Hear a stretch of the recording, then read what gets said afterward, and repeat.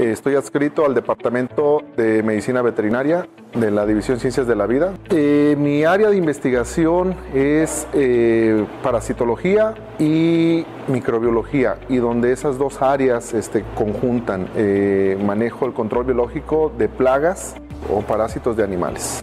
El trabajar con animales es cada vez más difícil.